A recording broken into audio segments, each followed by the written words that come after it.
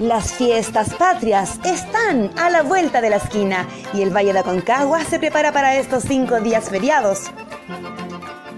Los que se podrían convertir en nueve si se toman libre el jueves 20 y el viernes 21, más el fin de semana siguiente.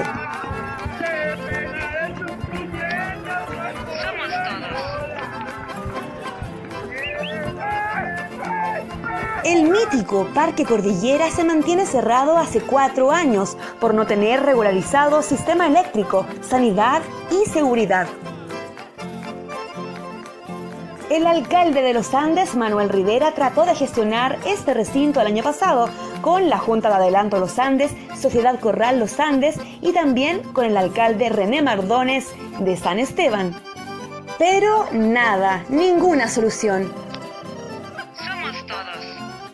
Al parecer, el Festival Guatón Loyola de los Andes se va a desarrollar por un buen tiempo en el Parque Urbano.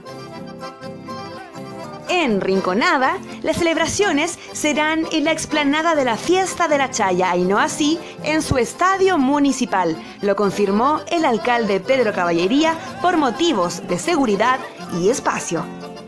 Los primeros shows artísticos son Canal Magdalena y María José Quintanilla. Usted lo supo antes por revista Héroes de Aconcagua.